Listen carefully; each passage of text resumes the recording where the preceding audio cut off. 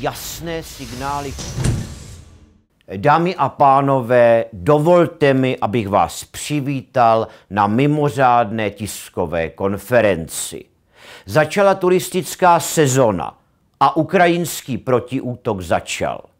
V egyptském letovisku Hurgádě zaútočil hrdiný ukrajinský žralok a podařilo se mu zlikvidovat nebezpečného 23-letého Rusa.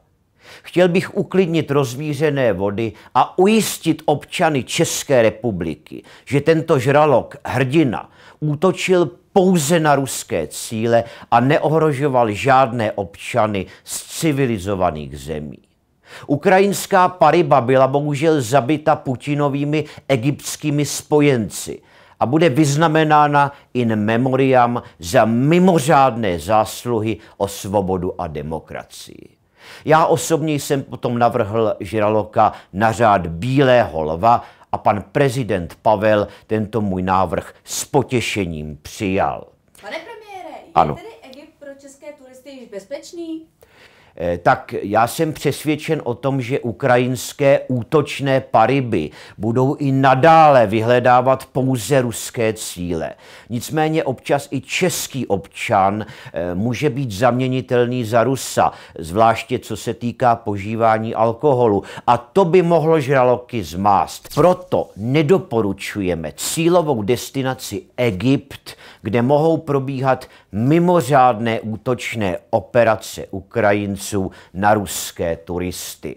A i když vysíláme jasné signály, že jsme Češi, například typickým znakem jsou pověstné ponožky v sandálech, nemuselo by to stačit a ponožky v sandálech by mohly zůstat jediným signálem na hladině, že v nich chodili naši občané a my bychom je neradi nechali padnout. A kam by teda Češi měli jezdit na dovolenou do zahraničí?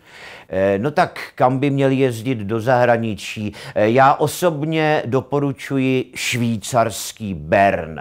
Zvláště pak občanům, eh, kteří díky neustále se zhoršující ekonomické situaci musí na dovolené pracovat. V Bernu bude nově povolený prodej kokainu, a jak každý programátor ví, díky této droze můžete podávat neuvěřitelné pracovní výkony a ještě stačíte eh, se pověnovat přítelkyni, milence, manželce, rodině, příteli, kolegovi, nadřízenému, premiérovi. Eh, Pardon, zkrátka je tam krásně. A nějaká bezpečnostní opatření pro české turisty? Eh, Ano, eh, samozřejmě eh, pokud cestují po Evropě, tak mít neustále sebou záchranný balíček první pomoci a doporučuji mít notářsky ověřené závěti, včetně vypořádání majetkových či jiných práv. No a pak stačí mít kvalitní krém proti sluníčku. Z mé osobní zkušenosti eh, doporučuji občanům eh, kupovat spreje proti komárům eh, u místních, protože ty naše opravdu fungují pouze a jen na českých bahňácích. Když mluvíte o záchranném balíčku, chystá se v rámci turistické prázdninové sezóny nějaká opatření? Ano, skutečně jedno opatření chystáme a rychle to proženeme sněmovnou. Od 1. července bude mít každý český občan cestující do zahraničí povinnost vzít sebou na dovolenou jednoho Ukrajince.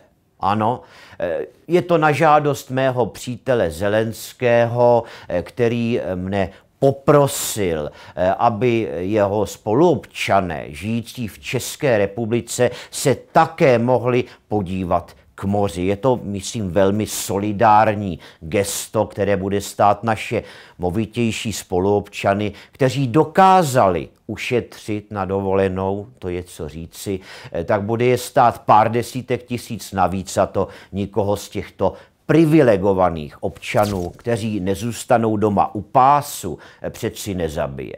A pak uvidíte ta rozářená očička Ukrajinců, jak staví hrady z písku nebo jezdí po tobogánu či lízají chorvatskou zmrzku. A to bude odměna skutečná. Takže Češi budou platit i na zasloužené dovolené. No tak, tak prosím vás, tu zmrzku jim snad opravdu zaplatit můžeme. Nebuďme úzkoprsí, zvykejme si. A nepodávejme si již takováto daňová přiznání, přátelé a milí občané. Eh, do kolonky vyživované osoby nám opravdu nemůžete uvádět vláda, parlament, státní úředníci a půl milionu Ukrajinců. To vracíme k přepracování. Přepracujte, pracujte, ať jsme opět žraloky v evropských i egyptských vodách. Nashledanou.